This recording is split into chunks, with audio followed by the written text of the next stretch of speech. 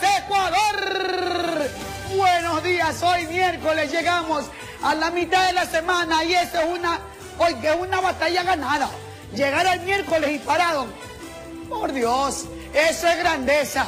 Buenos días, hoy miércoles 6, 6, póngalo 6, póngale, póngale la seña, póngale la seña, 6 de mayo, compartiendo con ustedes este día maravilloso. Recuerde que todos los días son maravillosos y a usted, es usted que tiene el poder, es usted que tiene la capacidad de pintar su día del color que usted elige. Hoy píntelo de blanco, de azul, de amarillo, de celeste, de lila, de rojo, rojo pasión como del color de mi blusa.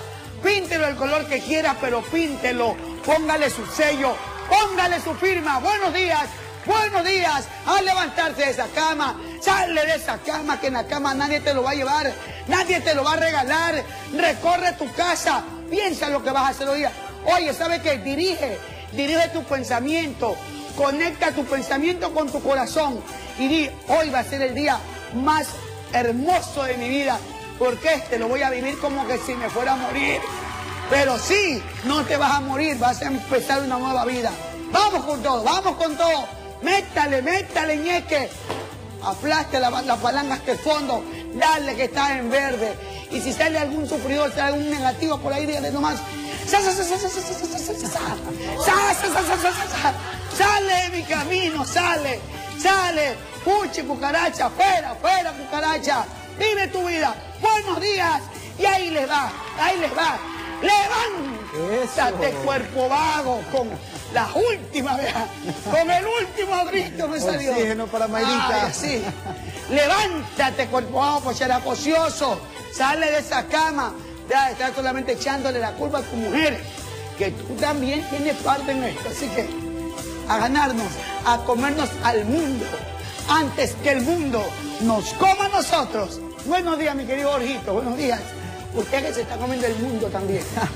Mayrita, buenos días, bendiciones. ¿Cómo está? Guapa como siempre, Mayrita. Pero caramba, son los reflejos que uno andando con gente guapa. Tiene que ponerse guapo. Hay que tirarse todo, oye, todos los bling bling. Hay que tirarse todos los juguetes encima.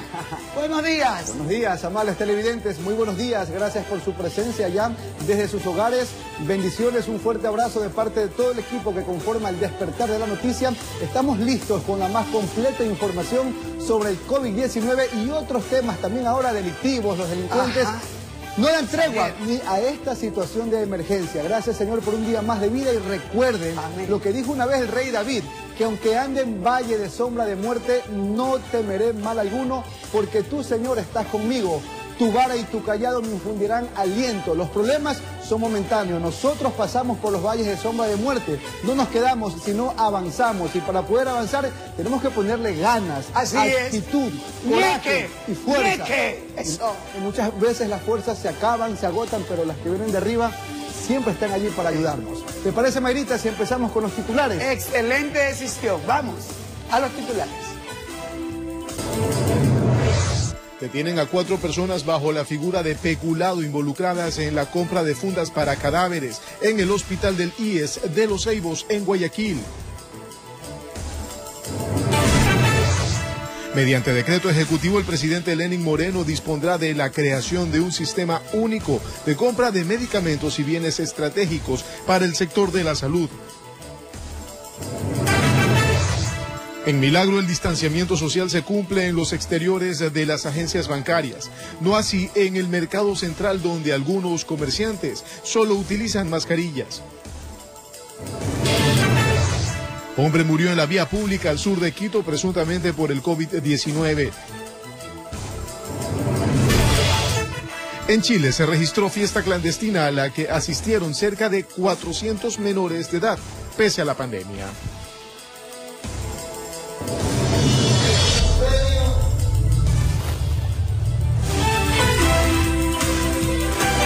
Gracias por compartir con nosotros este humilde trabajo, como siempre digo, que ustedes son los importantes esta mañana y todos los días que conllevan nuestro trabajo. 5 de la mañana con 50 minutos, 5 con 50 minutos. Y a través de su cuenta de Twitter, el presidente de la República, Lenín Moreno, dispuso la extensión del estado de sección por 30 días más desde el 16 de mayo. Veamos. Con el respaldo del Consejo de Seguridad, extendimos por 30 días más el estado de excepción a partir de este 16 de mayo. Gran predisposición del COSEPE para proceder a una reingeniería integral de los presupuestos institucionales de las funciones del Estado. Las revisiones presupuestarias serán de entre 10% y 15% sin afectar las actividades misionales. Hasta el 30 de mayo, todos deberemos adoptar las medidas que correspondan de conformidad con la Constitución y las leyes, con el acompañamiento de Finanzas ESE. Reitero mi llamado a todas las instituciones públicas y privadas para sumar esfuerzos en la lucha contra esta emergencia. Solo un trabajo conjunto nos permitirá salir adelante y levantar al país. Todo lo hacemos en función de la vida, el empleo y la productividad. Juntos Ecuador. Y cuatro personas fueron detenidas bajo la figura de peculado, involucradas en la compra de fundas para cadáveres por parte de funcionarios del Hospital del IES de los Ceibos en Guayaquil. Carlos Julio Gurumendi nos cuenta en la siguiente nota que la policía no descarta que existan más involucrados en esta estafa al Estado ecuatoriano. Con la presencia de dos fiscales de la Unidad de Lavado de Activos y agentes de CIPROVAP de la Policía Nacional, señalaron 10 inmuebles tanto en Quito como Guayaquil, todo relacionado a la compra con sobreprecio de las fundas de embalaje de los cadáveres por parte del personal del IES del Hospital de los Ceibos. Tenemos cinco computadoras tipo laptop, cinco CPUs, 7.675 dólares americanos que se encontraban dentro de una caja fuerte, varios documentos en donde están los contratos justamente de la contratación pública en cinco bolsas de embalaje de cadáveres que son la referencia o el nexo causal y cinco unidades de mascarillas de N95. Las tres mujeres que fueron detenidas ocupaban cargos administrativos en el Hospital del Instituto Ecuatoriano de Seguridad Social de Los Ceibos. Las detenidas fueron identificadas como Pera León SP, Pinoesa Franco JI y Goya Zambrano RG y el sujeto que fue detenido en la capital de la República corresponde a los nombres de Bermúdez Montenegro F, miembro de la compañía con la cual realizaron la compra con sobreprecio de las fundas de embalaje de los cadáveres. Los detenidos pasaron audiencia el día de ayer, las detenidas, y el detenido se abrió una instrucción fiscal durante 90 días, dados la presión preventiva. En este marco, la policía retuvo a 12 personas más para investigaciones. Se realizó el convenio, pero de lo que sabemos no se llegó a desembolsar ese dinero. Hagamos más o menos que estas bolsas valen 12 dólares, las 148 en 4 mil, son más del mil por ciento de sobreprecio en cada una de las fundas. De su parte, el abogado defensor de la empresa con la cual se hizo el contrato asegura que han realizado el desembolso de 2.000 packs. 4.000 packs es, es, el monto, pero el total son 8.000 fundas.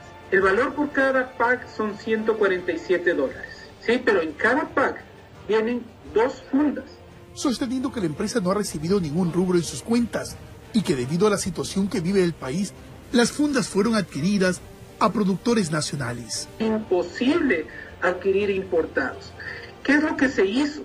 Se compró a nivel nacional, a productores nacionales no es que se haya importado y se ha traído de la China a costos eh, eh, exorbitantes. No, nosotros cumpliremos con nuestro contrato y posterior a eso eh, veremos la forma de hacer cumplir por parte del Estado. En todo caso, la policía no descarta que existan otros implicados en este caso, por lo que las investigaciones continúan, informó Carlos Julio Gurumendi. 5 de la mañana con 54 minutos, 5 con 54 minutos, ponga atención, y sobre este mismo tema. Son varios los casos de corrupción que se han registrado durante la emergencia sanitaria en el sistema de salud pública. La Secretaría Anticorrupción expone cómo operan estas redes, ejemplificando como los casos registrados en los hospitales Los Ceibos, Guasmosur y Teodoro Maldonado en Guayaquil. Aquí la información. Hospital Los Ceibos en Guayaquil no es el único que habría realizado la adquisición de fundas de cadáveres a un precio de 148 dólares, cuando en el mercado se ubica en 12 dólares cada una. El Hospital Guasmo del Sur de la misma ciudad también compró estos tipos de bolsas a un precio de 145 dólares. Es el mismo modus operandi que el caso de Los Ceibos.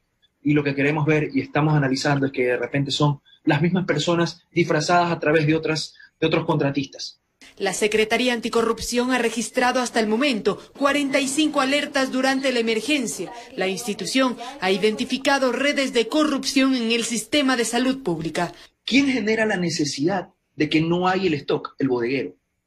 Eso eleva al departamento de presupuestos, eso genera compras, eso genera una necesidad de un proceso que va en escala el secretario del organismo José de la Gasca ejemplificó esto con el caso del Hospital Teodoro Maldonado. Se robaban los insumos de las bodegas, los iban a vender a las bahías y decían, ya se acabó. Se acabó, hay que volver a comprar. Ese es el sistema que tenemos enquistado en estos hospitales. También se analizan otras irregularidades de fondo. Porque la normativa permite al momento de evitar o levantar o aligerar la carga de controles que hay para la contratación de emergencia, que la publicación de estas contrataciones sea con posterioridad a la emergencia. Entonces, se valen de esa norma para no avisar que, que está pasando un concurso. Nadie puede tener ojos sobre esto, ni siquiera la sociedad civil. La situación de emergencia ha complicado los procesos de contratación pública. Se reducen los niveles de rigurosidad y de control en la contratación pública para agilitar o agilizar esto y dinamizar estas contrataciones en función a que se necesita. Las redes de corrupción se establecerían con mayor fuerza en los hospitales nuevos o repotenciados. La estructura da para que ellos en una primera compra o en la primera compra hagan que el proveedor ponga el precio más alto. Es decir, si las fundas costaban 12 dólares, ellos en la primera adquisición la ponen en 150 de tal manera que cuando vengan los procesos subsiguientes para esas fundas, van a tener como precio de referencia los 150. La Secretaría Anticorrupción propone más control dentro de los hospitales, informó Valeria Navarro. La Fiscalía allanó el municipio de Machala y una oficina de una empresa contratista dentro de las investigaciones por presuntas irregularidades en el proceso de adjudicación de una obra, la cual tiene un costo de aproximadamente 8 millones de dólares.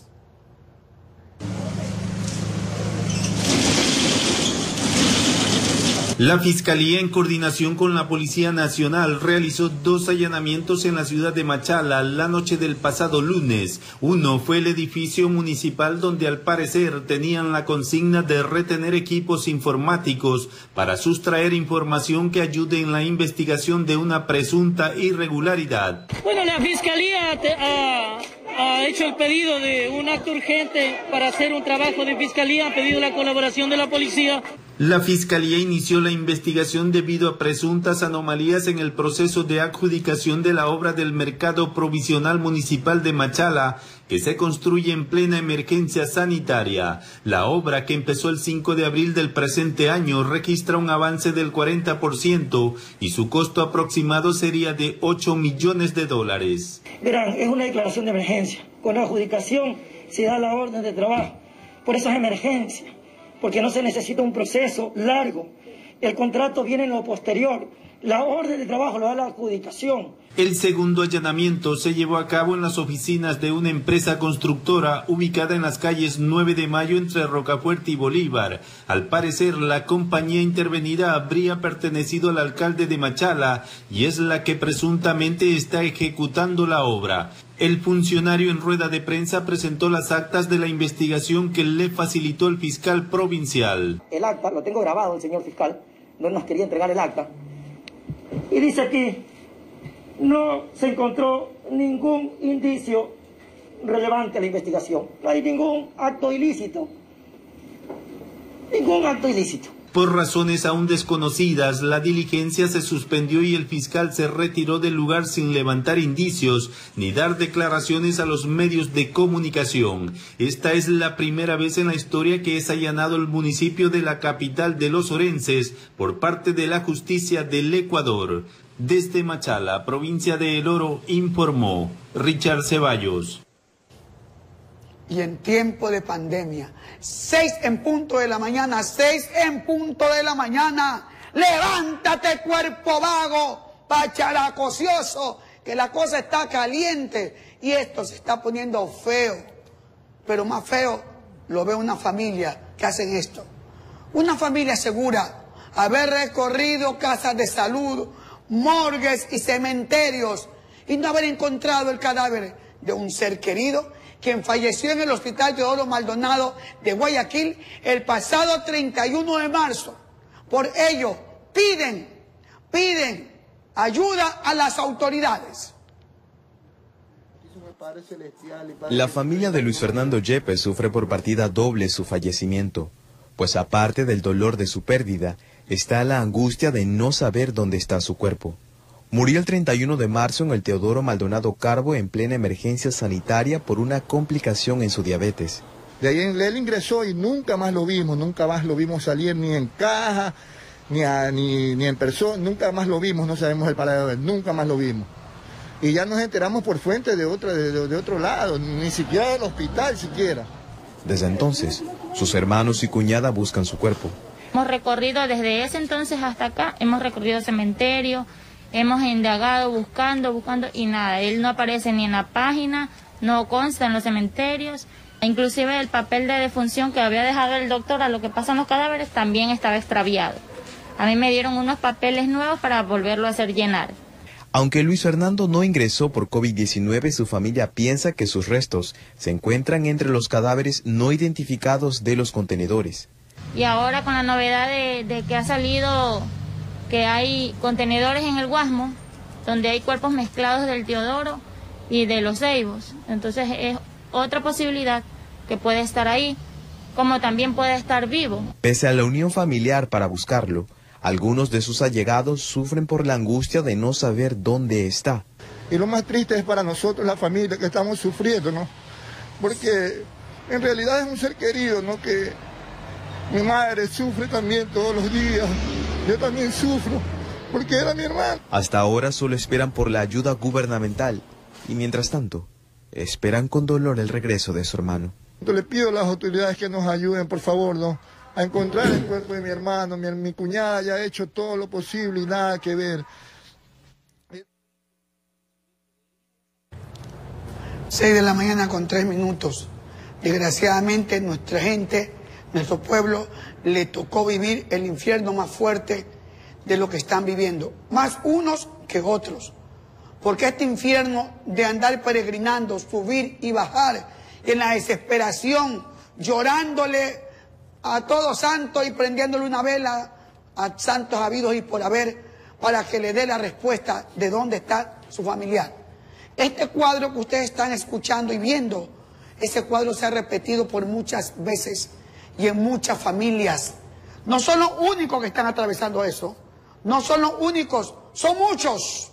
son muchos que le dieron la misma respuesta y aún siguen peregrinando y sin encontrar ese ser querido. Según las cifras, es el peregrinar de sufrimiento y desesperación que atraviesan al menos 130 familias. ¿Por qué? Porque si hay 131 cadáveres sin identificar, suponemos en honor a la lógica que existe igual número de familias que aún no encuentran a sus seres queridos. Y ya lo dijo la policía que, por ejemplo, en el caso de los cadáveres descompuestos, que hay que realizarle una prueba ADN, esto no dura horas, esto no, no dura pocos días, tienen que realizar el ADN al cadáver descompuesto y algún familiar para luego cotejar si es o no el ser querido. Huellas dactilares, eh, a través de visualizar el rostro o lo que queda del rostro de su familiar, es algo complicado que no va a durar pocos días y entendemos que es el laxo que tienen que esperar los seres queridos para velar a sus familiares.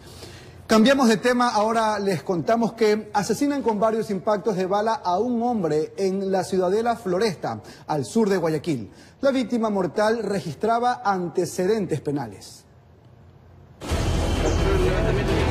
En el sector de la floresta al sur de Guayaquil, las detonaciones interrumpieron la tranquilidad del lugar. Desconocidos le propinaron varios disparos a un sujeto, el cual se encontraba en la zona. Luego del hecho huyeron en medio de los vehículos. Además, ya hace la investigación y tiene los primeros resultados. Entonces tenemos la presencia de una persona de sexo masculino de aproximadamente 38 años de edad, la misma que ha sido impactada por proyectiles de armas de fuego por parte de de unas personas que se, transportaban en una motocicleta, los cuales le propinan varios disparos, los cuales le, le, propinan la muerte de esta persona. Tratan de determinar quiénes serían los causantes de este acto violento. Creen que se trataría de un ajuste de cuentas. Eh, el personal de criminalística se encuentra levantando indicios balísticos, como 17 indicios balísticos. Nosotros estamos realizando las, las verificaciones correspondientes, tratando de levantar mayor información para tratar de dar con los causantes de esta muerte violenta. Fiscalía también realiza las indagaciones respectivas. Impactándole específicamente en la espalda, que una vez que se logró observar el cadáver, se pudo observar que presenta varios orificios de bala en la espalda y que presuntamente habría sido realizada por una arma de fuego tipo pistola calibre 9 milímetros. La víctima se encontraba sentada en la, en la vereda con, una, con un cajón de compras y un costal que en su interior eh, aparentemente se encontró arena. Sí, tiene dos antecedentes, tiene una por robo y otra por tenencia de armas no autorizadas en el año 2011 y 2013, 2016 respectivamente. Y que en los próximos días tendrían más detalles de este suceso que alarmó a toda una comunidad, informó Julio César Saúl. 6 de la mañana con 6 minutos, 6 con 6, y el hombre no aprende. El hombre no aprende. Por eso es, el hombre es el único animal que mata para no comer. Ahí están. Están matándose ahora. No es suficiente con este problema que tenemos de esta pandemia para que también empiecen los atrasapueblos, los criminales, los sicarios a acabar con la vida de una persona. No importa los antecedentes que haya tenido, pero nadie tiene derecho a quitarle la vida a nadie. Por eso existe una sociedad civilizada donde existen leyes, donde existen personas que dictan las leyes para controlar este desorden que tenemos. No es suficiente. No es suficiente el mensaje que te viene de arriba. Ese mensaje divino que te dicen arrepiéntete, cambia tu forma de vida. Aquí estamos todos preocupados. Familias enteras sumidas en, en la desesperación y otros pensando en matarse. 6 con 7, 6 con 7.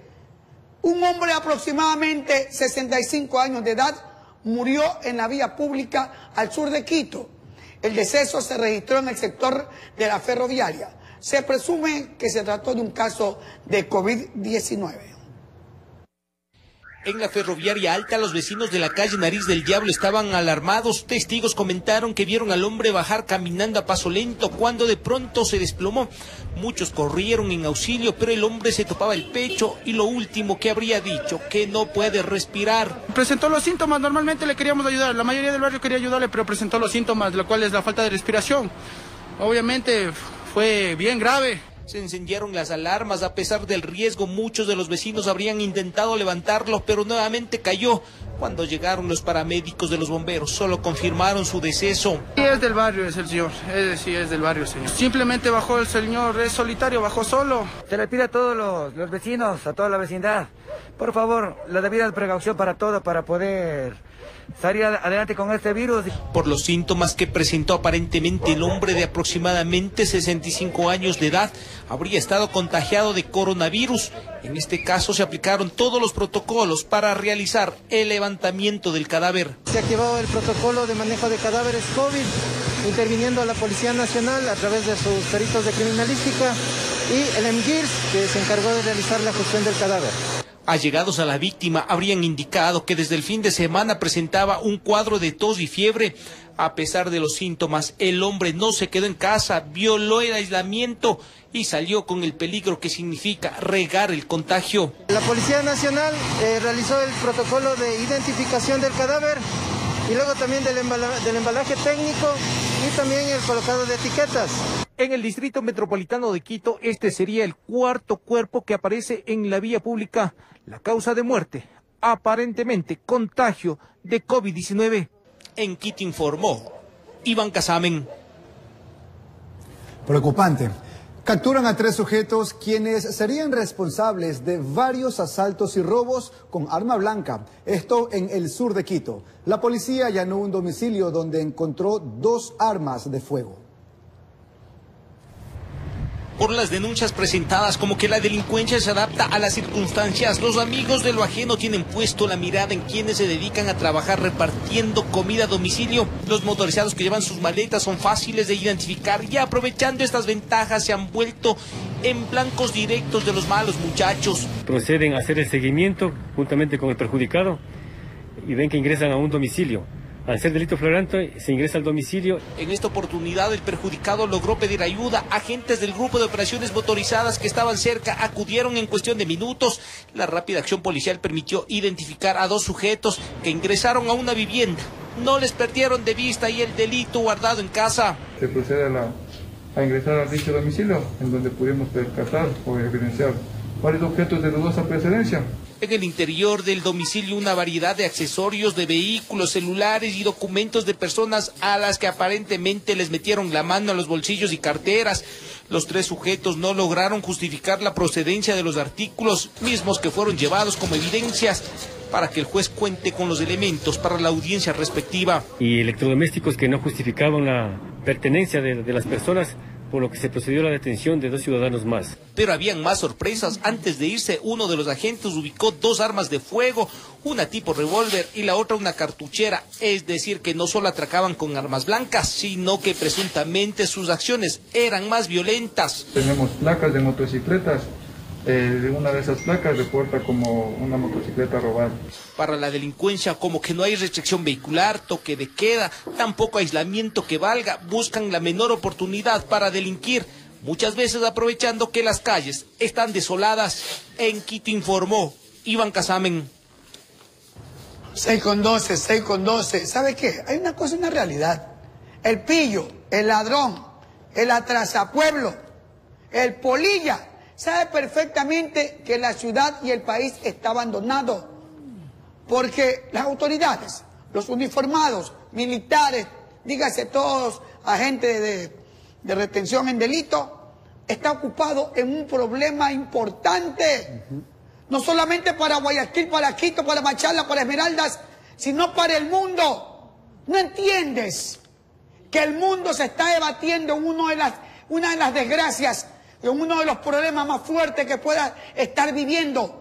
No solamente es aquí, es a nivel mundial. De vez en cuando coge un periódico y mira la televisión para que veas lo que pasa en otro lado. Solamente te reduces en ese reducido cerebro a pensar en tus necesidades, en comprar la droga, en matar, en hacer todo lo malo para poder obtener el dinero. Ahí está, el almacén, un almacén improvisado ¿A cuántos habrás herido? ¿A cuántos habrás golpeado? ¿Cuánta sangre habrá, derramado para obtener eso? Y, ahí están. Y es una cosa preocupante de ver que conforme la gente empieza a retomar sus actividades por desesperación, al mismo tiempo, a la par los delincuentes también con el cometimiento de delitos. Acuérdese, Mayra, hace mes y medio casi no habían asaltos, no habían asesinatos, pero hoy en día los delincuentes nuevamente es como que el modus operandi de ellos, el día a día, su trabajar. Diciendo, no pasa nada. Entra, roba, ñaño, éntrale, éntrale.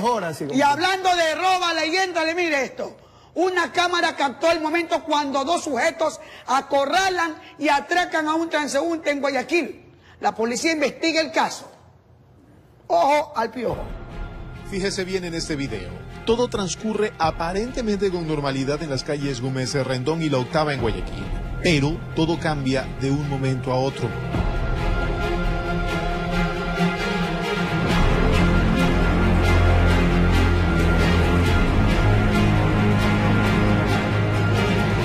Persona que viste de negro tiene un arma de fuego y acorralan con otro individuo a su víctima frente a los testigos de la zona. Así es como se ve desde otra cámara, ubicada dentro de un local comercial.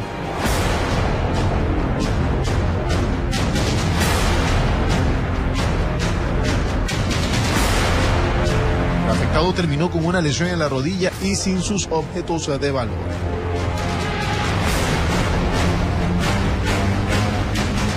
Las autoridades están tras la pista de los individuos que llevaron a cabo este robo a plena luz del día. Informó Julio César Saona. A usted le está pasando lo mismo que a mí, como dice la canción. A usted le pasa lo mismo que a mí. Yo también estoy boquiabierta en ver la hazaña, la alevosía, la maldad, la agresividad. ¿Cómo acorralan a este pobre hombre que no saben qué problemas tendrá en su mente porque salió a buscar el pan con los últimos centavos que le quedaban en el bolsillo, pero salen cual buitres, cual aves de rapiña y compararlos con un ave de rapiña, compararlos con un buitre es hacerle un favor a ustedes y perjudicar al, al buitre. Por Dios, ¿qué nos está pasando? Y miren cómo lo cogen, es como que si el Señor, la víctima les pertenece. No te pertenece. Idiota, no te pertenece, respeta. No sabe lo que estamos viviendo. Tú te has preguntado a ese hombre qué problema estará viviendo también. Y tú vas y le robas. ¿Qué le habrán robado? Lo dejan herido, golpeado. ¿ah? Lo golpean, lo patean, lo arrastran. ¿Qué- Oye, estos, y estos son los que lloran cuando los cogen presos.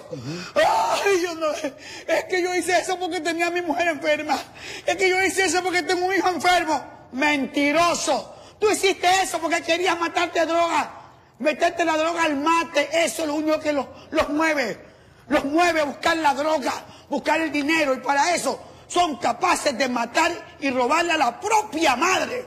Estos no respetan nada. Y es preocupante, Mayrita, ya cuando estábamos superando el, el tema de los videos, de los cadáveres por doquier, ya cuando al fin dejábamos de ver esto, ahora empezamos a ver un repunte de este tipo de videos, de asaltos con saña y alevosía. Claro, este hombre evidentemente salió a las calles para buscar el pan, para buscar el alimento y llevarlo a su hogar, pero lastimosamente regresó con lo poco que tenía en el momento de salir, porque se le llevaron todo. Esperemos y confiamos en el trabajo de la Policía Nacional que a través de estos videos, tanto en el exterior como del interior de este establecimiento, van a ayudar para que los uniformados puedan dar con la ubicación de estos pillos y que no vayan a estar llorando, como usted dice, no, es que quería comprar el tarro de leche para mi hijito, la necesidad.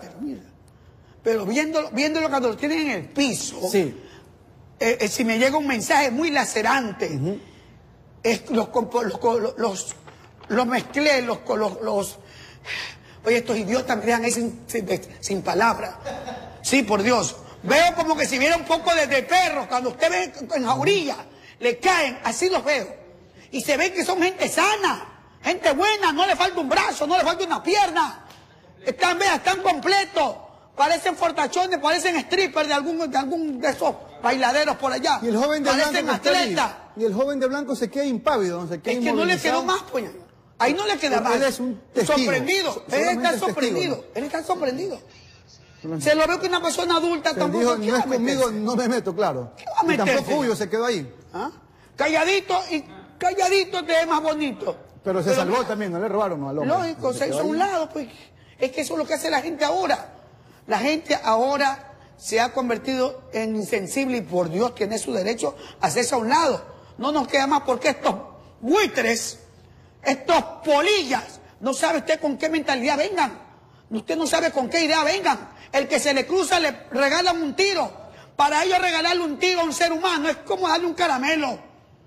Pero ¿sabe qué? La furia de Dios está cayendo. Arrepiéntete, pecador. Arrepiéntete, pecador. Mayri, ¿sabe qué? En el mundo delictivo de ellos, quien asesina a una persona es más importante. No, es que ya tengo cinco corvinas, con estas son seis corvinas. Es el más chévere, porque tiene más corvinas. Ese es el historial que lo ves, que lo pone bacán. triste, Pero cuando entran a la cárcel, oye, ese, ese man es duro. ¿Por qué? Lleva cinco corvinas a su, a su haber. Te- ni te metas con ese man. Le abre- se le abren, ¿ves? Se le abren. Y enseguida se le botan los otros eh, parceros. Les cuido, los cuido. Dice, ahí mismo consiguen los guardaespaldas. A ver, tú, ven tú, a eso. Tú, tú, ponte acá, tú, tú allá. Tú me cuidas la delantera, ese. Ábreme. Y son bacanes. Son bacanes allá, donde viven los...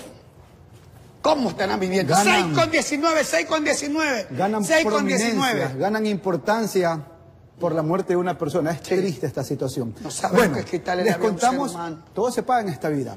Les contamos que más de media tonelada de droga fue decomisada en la parroquia Pintag, al sur de Quito. El alcaloide que llegó desde el norte del país estaba siendo embodegado en una vivienda al momento de la captura.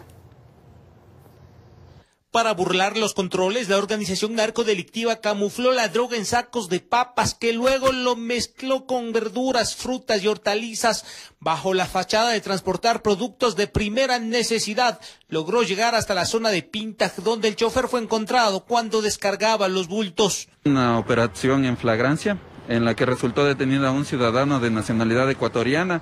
En este lugar había una casa aparentemente abandonada que era utilizada como centro de acopio. Lo último que le preocupaba al aparente encargado del transporte era cuidar de los productos de primera necesidad.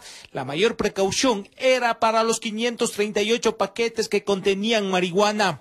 En este caso, aprovechándose la emergencia sanitaria que está viviendo el país, eh, pretendieron sacar eh, un salvoconducto, obtener un salvoconducto eh, de traslado de eh, útiles de primera necesidad. En la audiencia de flagrancia realizada en el cantón Rumiahui, quien sería el presunto transportista de la organización dedicada al tráfico de drogas a escala internacional, quedó con prisión preventiva por el presunto delito de tráfico de drogas a gran escala.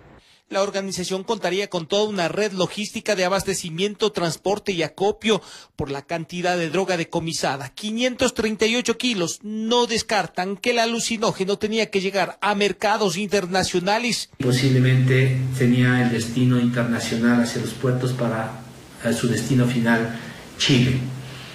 Esto está valorado en 231.200 dólares y obviamente en Chile tenía un costo ya de 1.163.000 dólares. El cargamento ingresó desde Colombia, lo que están verificando si el camión cargó en el vecino país o la organización narcodelictiva cuenta con algún centro de acopio en la zona de frontera.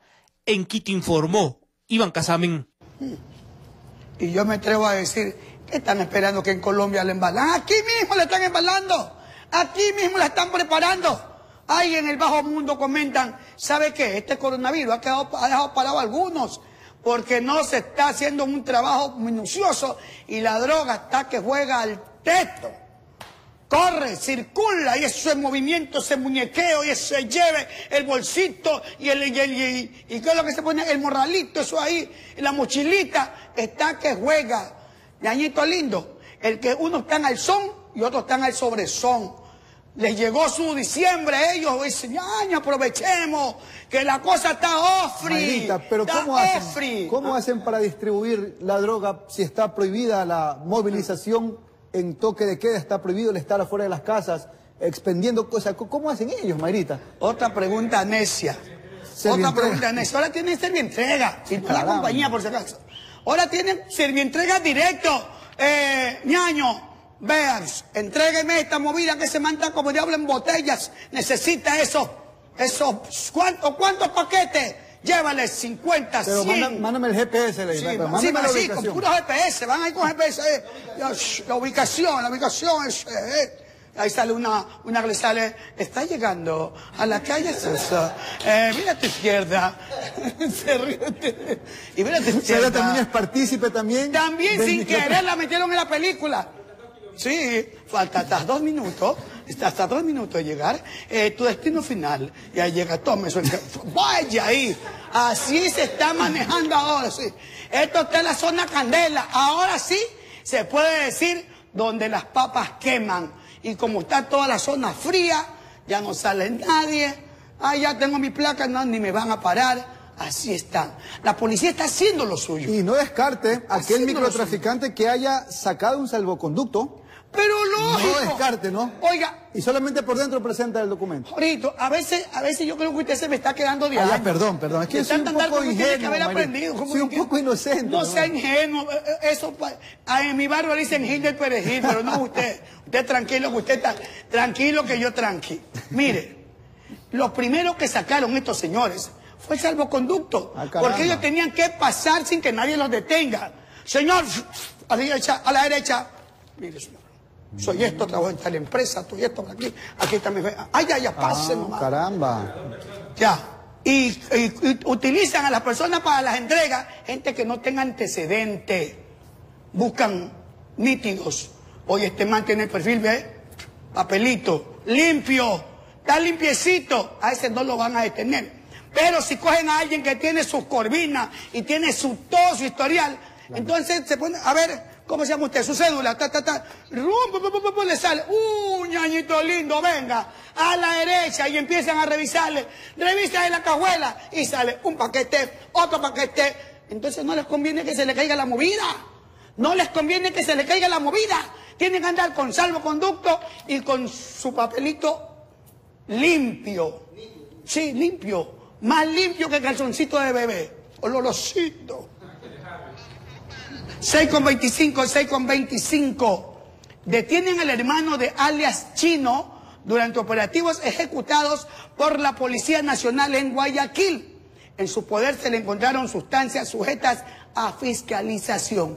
De lo que hablábamos, ¿ya vio? Varios sujetos, los cuales fueron ubicados en el distrito Portete, aparentemente se encontraban comercializando sustancias ilícitas, hecho que fue divisado por agentes policiales, los cuales actuaron de inmediato. En una vivienda le dieron captura a los sospechosos. Que varios sujetos intercambiaban aparentemente sustancias psicotrópicas en los exteriores de una vivienda. En el lugar fueron capturadas tres personas, entre ellos el ciudadano Fernando José M ecuatoriano sin antecedentes. El ciudadano Luis Alfonso G, ecuatoriano sin antecedentes. Y el ciudadano Carlos Steven R, ecuatoriano registra cuatro antecedentes penales. El tercer detenido era buscado por la Policía Nacional, pues se trata del hermano de alias Chino, supuesto integrante de la agrupación Latin King y que fue asesinado de varios disparos en los exteriores de la penitenciaría del litoral. Estamos hablando de la misma persona que meses atrás se lamentaba por el deceso de su hermano frente a la penitenciaría del litoral, eh, quien fue asesinado producto de la utilización de un arma de fuego. Estoy hablando de alias Chino, un presunto miembro de los Latin King eh, aquí en la ciudad de Guayaquil. Sin embargo, el sospechoso se dio a conocer después de la muerte de su familiar, pues por medio de redes sociales, con dos sujetos más, subieron videos en donde realizaba distintas amenazas. Y este último sería la persona que sale en redes sociales haciendo uso o enseñando su arma de fuego. Eh, estas personas, una vez capturadas, eh, se les encontró en su poder seis envolturas en forma cilíndrica conteniendo una sustancia de polvo color marrón posiblemente heroína, 13 cartuchos de diferentes calibres y se encontró 265 dólares americanos en billetes y monedas de diferentes denominaciones. Los procesos de investigación determinarán sanciones para el capturado, informó Julio César Saona. El COVID-19 nos puso a prueba, haciéndonos reflexionar sobre las cosas importantes de la vida. ¿Cómo superaron el COVID-19? Mi oración permanente. Hablo de la esperanza que se siente. Creo que el secreto está en estar un paso adelante del COVID. Que tengan mucha fe, que tengan mucha fuerza. Historias llenas de esperanza y fe, contadas por sobrevivientes. De lunes a viernes, emisión estelar, de las 22 horas por RTS.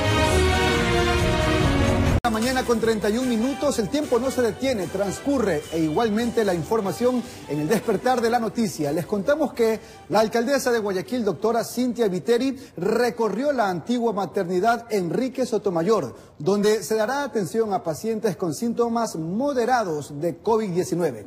Enseguida los detalles. Los recorridos continúan y la alcaldesa Cintia Viteri en esta ocasión llegó hasta el edificio de la antigua maternidad Sotomayor en el centro de Guayaquil. Aquí constató la labor que se lleva a cabo. Bueno, ya un área donde van a funcionar 75 camas con oxígeno empotrado eh, pueden entrar a funcionar en una semana más aproximadamente, según me han dicho los ingenieros de obra, y el hospital se volverá para atender pacientes COVID, pacientes de atención intermedia que necesiten oxígeno y hospitalización entre 24 y 72 horas. Es decir, salvar las vidas de los pacientes y evitar que empeoren, que sus pulmones colapsen y de esa manera también bajamos la presión en los hospitales de salud. La idea es poder ayudar a aquellos que presentan síntomas de coronavirus. Los pacientes son salvados acá y no tienen que ir ya en graves condiciones a los hospitales del Ministerio de Salud o del Seguro Social. Solo serán trasladados los que necesiten atención por gravedad, es decir, internarse en eh, las unidades de terapia intensiva. Además, recalcó algo en especial. Aproximadamente en una semana más ya podríamos empezar a atender el área de COVID. Los pacientes que están aquí serán trasladados a otros hospitales para que no se contaminen. ¿Cuánto es la capacidad más o menos que tendría? Hay cinco camas con oxígeno. La capacidad de la maternidad es de 300, pero estamos habilitando 75 camas con oxígeno. Informó Julio César Saona. Mañana con 32 minutos, 6 de la mañana con 32 minutos. Y la COVID-19 acecha a los integrantes de la nación eh, que habita en el oriente de la Amazonía, a ver, ecuatoriana. El virus llegó a sus comunas provocando la muerte de dos personas. Se teme que los infectados sean muchos y lo que amenaza a la supervivencia de este pueblo ancestral que apenas tiene 700 integrantes. El padre de Ramiro Piaguaje es uno de los dos ancianos Ecopay que murieron afectados con sintomatología similar al COVID-19. Esto ha encendido las alarmas porque además hay 14 personas de este pueblo originario del nororiente amazónico que dieron positivo al coronavirus. Ramiro, quien vive en la reserva del Cuyabeno en Sucumbíos, dice que todo parecía una simple gripe. Al ver nosotros, es, él ha tenido un gripe y con esa gripe el man ha fallecido. Ante la alerta, llegaron médicos a la comuna a tomarle las muestras. Ramiro dice tener el mismo cuadro sintomático que su fallecido padre. Mira aquí, eh, hasta yo mismo, mi personas, he pasado con esa gripe y aquí otros familiares de la comuna que somos, sí han pasado algunos. Y, y sí ha cogido fiebre, así dolor de cabeza.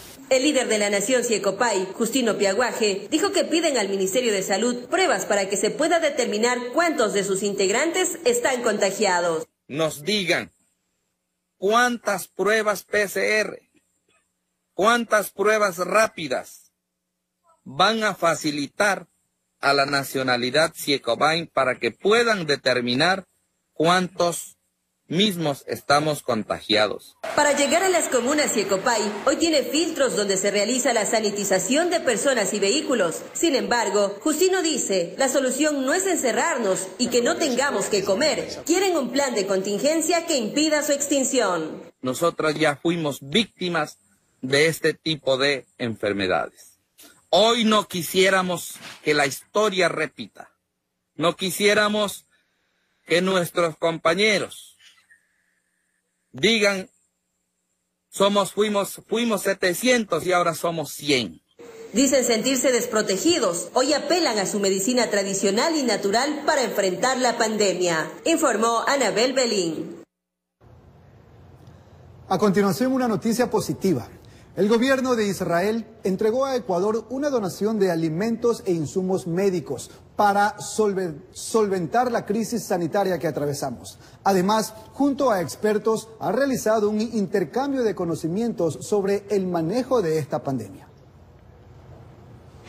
Mil raciones de alimentos para una semana e insumos médicos como mascarillas desechables, máscaras sólidas y oxímetros hacen parte de la donación entregada por el gobierno de Israel a través de su delegación diplomática en el país.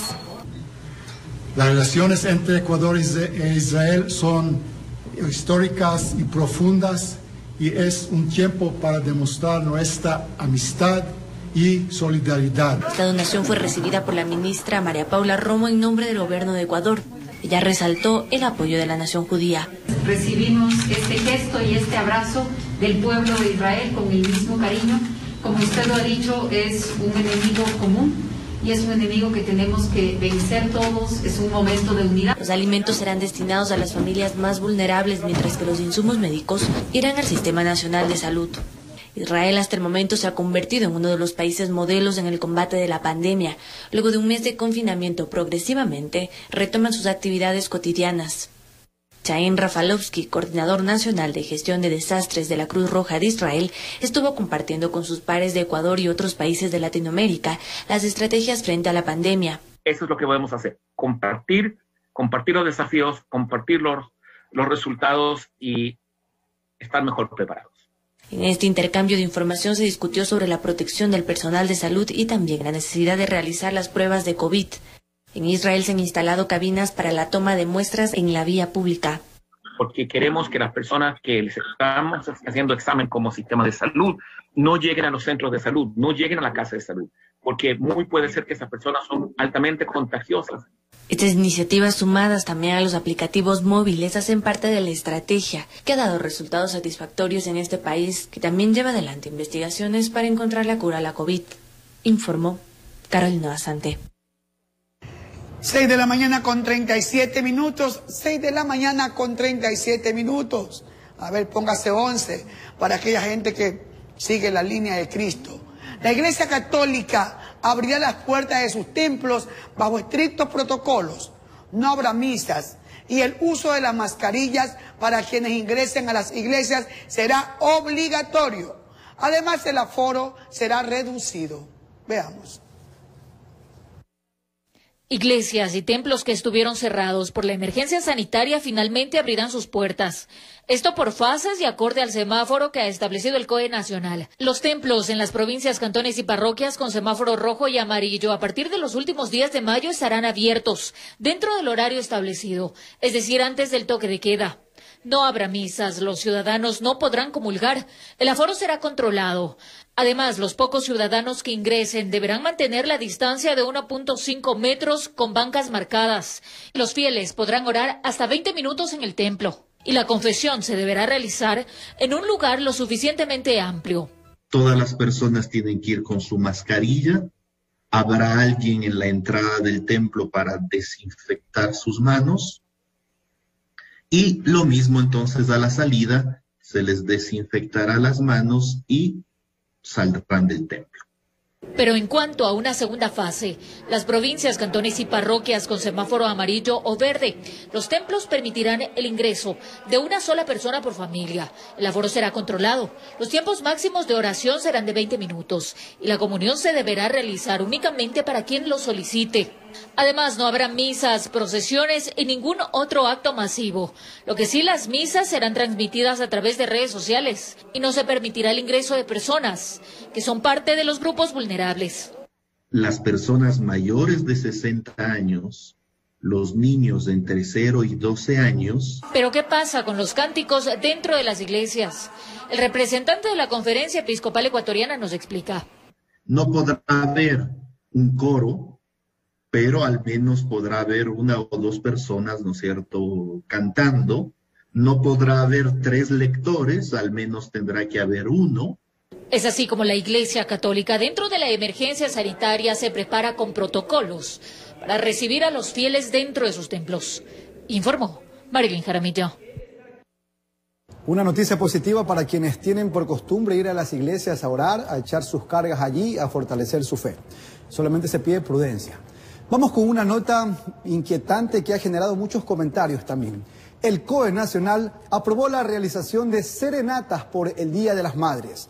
La decisión fue adoptada tras la petición del Ministerio de Cultura y Patrimonio para que los artistas puedan reponerse de la dura situación que les ha tocado vivir.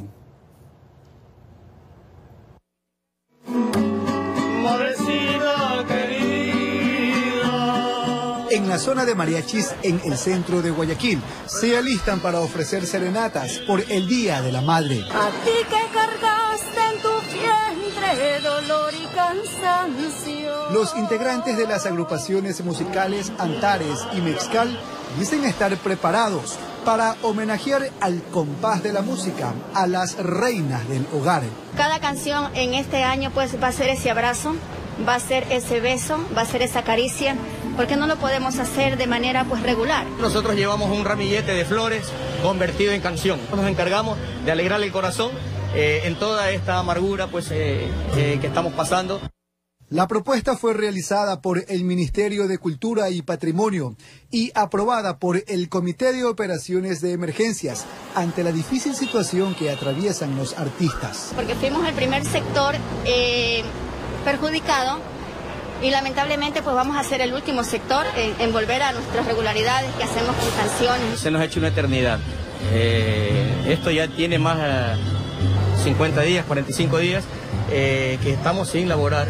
Los días habilitados serán el sábado 9 y domingo 10 de mayo, de 9 de la mañana a 20 horas. Eduardo Defos, de Mariachis de México, tiene incertidumbres sobre el horario. Nosotros esperábamos que sí nos iban por, por lo menos a ceder entre sábado y domingo, cedernos un horario normal, o sea, toda la noche, toda la madrugada, para nosotros es un esfuerzo. Entre los lineamientos se establece que los espectáculos deben realizarse únicamente en exteriores. No deben intervenir más de ocho personas y será máximo de 40 minutos. En las calles existen opiniones divididas sobre el tema. Yo estoy de acuerdo, para no perder esa, esa, esa tradición. ¿Cree que deban darse serenatas este fin de semana o no? Negativo. ¿Pero por qué? Por mí no, no, no, no me cae eso. Por el momento, la mayoría de locales de mariachis permanecen cerrados hasta que exista un pronunciamiento por parte de la alcaldía.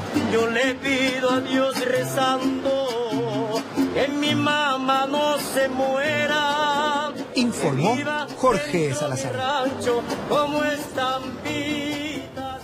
6 de la mañana con 43 minutos. Bueno, cada quien tiene su forma de pensar, cada quien tiene su manera de ver las cosas. No les voy a poner la, mi idea en su cabeza, solamente voy a, exponer mi pensamiento y es mi opinión personal. Estamos viviendo tiempos difíciles. Hay hermanos que hasta el día de hoy no reciben un centavo de su trabajo, porque hay unos que pueden realizar una actividad, hay otros que no. Están terminantemente prohibidos su presencia en las calles o en los lugares donde ellos acostumbraban a ganarse la vida. Los músicos, cualquier línea que sea alta, media, baja, son personas que se ganan la vida así. Y si se les da la oportunidad, si ellos la han solicitado, y de parte de la alcaldesa has sido consciente en, que estos hermanos, les digo hermanos porque somos, somos hermanos, no de sangre, pero somos hermanos de lucha, hermanos de país, hermanos de, de esta hermosa tierra donde da gente muy productiva. Yo pienso que está muy bien que ellos hagan ganarse la vida. ¿Y sabe qué? Hay muchos que han perdido a su madre en este, tipo, en este tipo de la pandemia y ellos hubiesen querido darle una última serenata. Mayrita. Y aquellos que están a punto de pronto no saben si el día de mañana continuarán viendo a su viejecita, es digno de que tengan la oportunidad de dedicarle su pensamiento y, y su amor. Conversaba ayer con los artistas y me decían que esta es la mejor fecha del año. O sea, al igual que los artistas que elaboran monigotes, que esperan fin de año para hacer dinero, ellos también esperan con ansias el Día de la Madre y por tal razón ellos están solicitando que se les permita. Ojo, ayer me estaban llamando en horas de la noche porque entre las solicitudes, también ellos, los trabajadores que quieran dar serenata, tienen que eh, pertenecer al registro único de artistas y gestores y tener RUC. Si no constan en este registro y no tienen RUC, pues no pueden dar serenatas y también deben de sacar salvoconductos. Señores, por favor, es importante que sepan, las serenatas solamente serán en los exteriores de las viviendas. Los artistas tienen que guardar un metro de distancia, no pueden haber más de ocho y la presentación no debe durar más de 40 minutos. Nada que vamos, a- vámonos de chupa, nada. 6 con 45. En Chile se registró una gran fiesta clandestina a la cual asistieron cerca de 400 menores de edad. Por otro lado, en India, las personas realizaron largas filas para abastecerse de licor antes de la aplicación del impuesto que fijará el gobierno.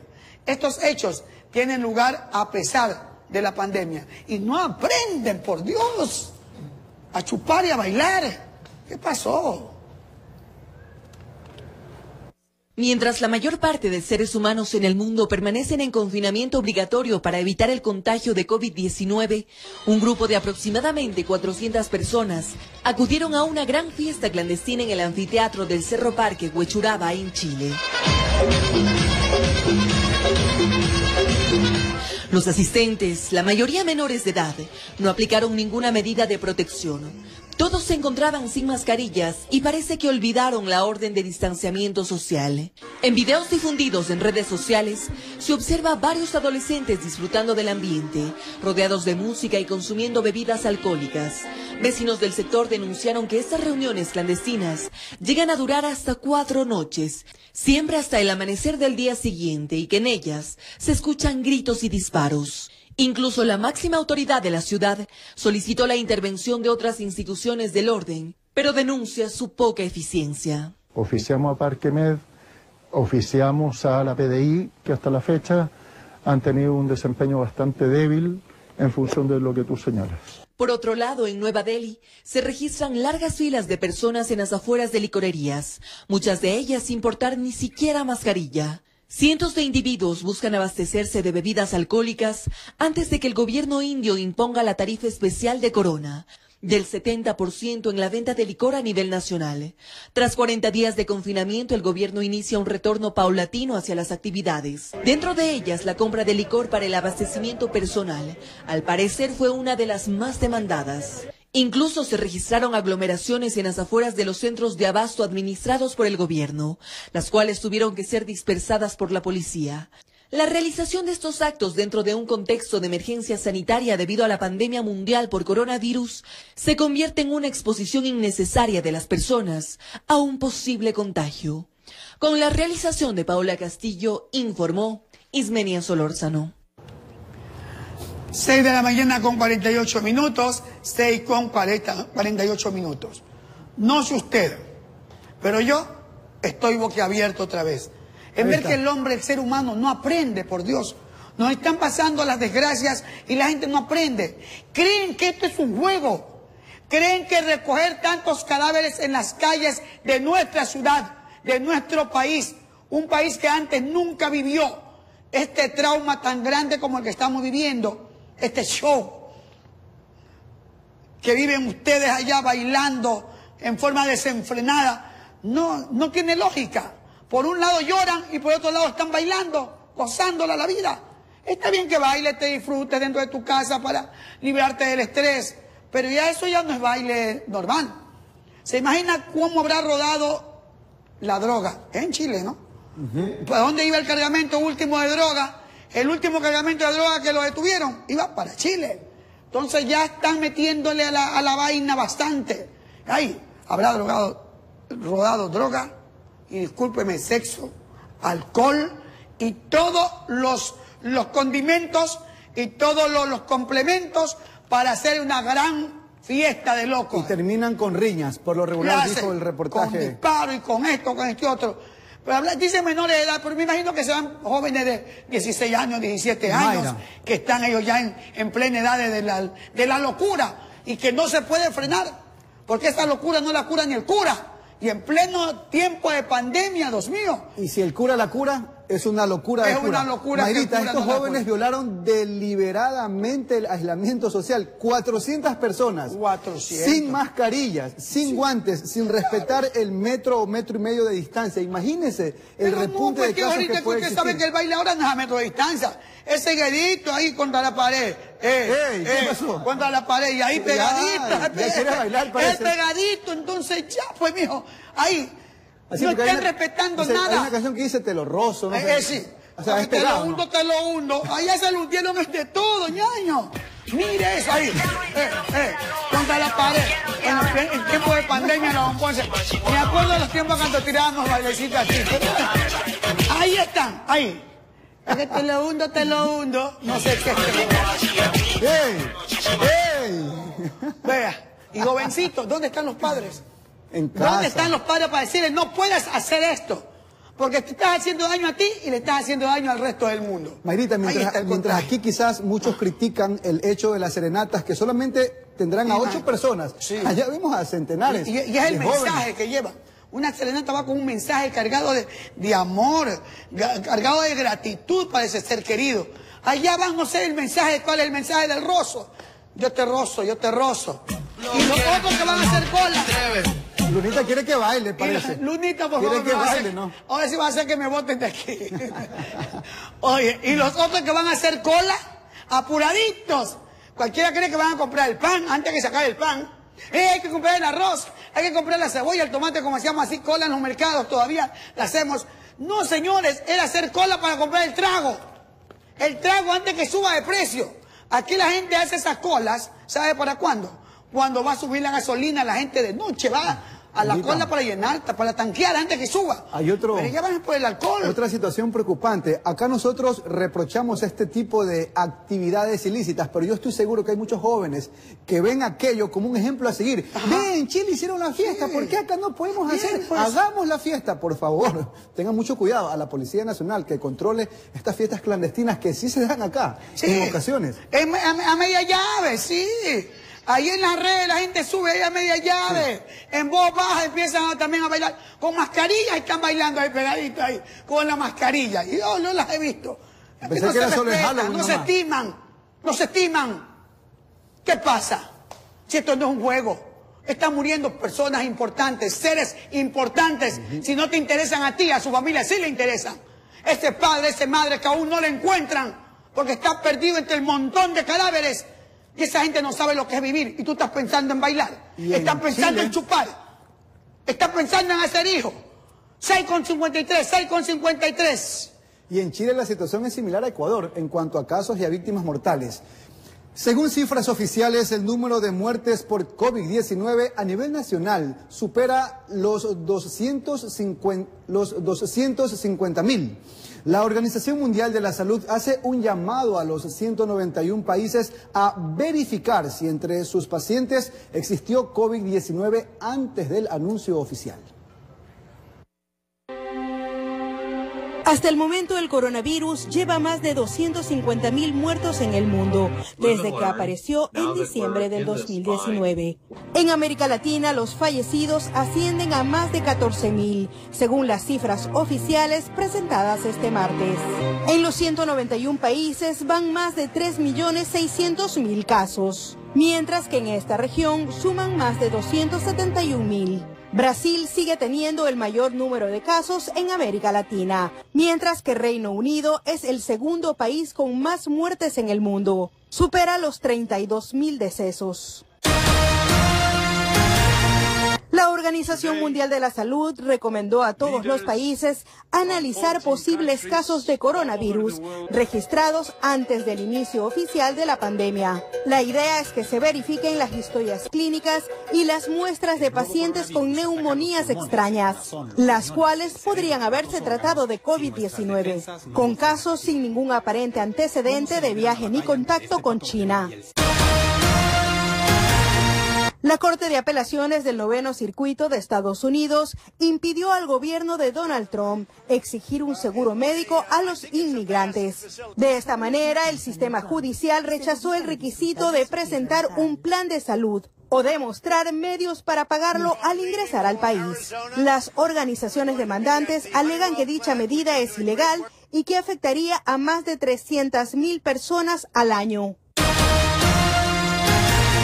Juan Guaidó, presidente interino de Venezuela, acusó al mandatario Nicolás Maduro de buscar invisibilizar la crisis social y económica que atraviesa el país, con mediatizar los detalles de la operación Gedeón, que según Maduro fue una incursión organizada por Estados Unidos para no solo derrocarlo, sino matarlo, con la ayuda de Guaidó, y que su gobierno logró frenar al detener a las 13 personas presuntamente involucradas. Informó Maite Morán. Fue capturado.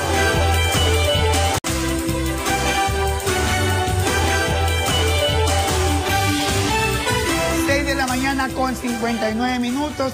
6 de la mañana con 59 minutos. Le damos la cordial bienvenida a los amigos que se enganchan a esta hora de la mañana.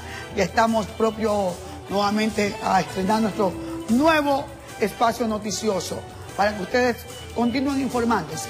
Mi hijito, en la primera emisión estamos compartiendo con ustedes. Buenos días. Ya terminamos, claro, ya terminamos el despertar y empezamos en este momento con la primera emisión de la noticia. ¿Hay colilla? ¿No hay colilla? Hay Sí, colilla. hay.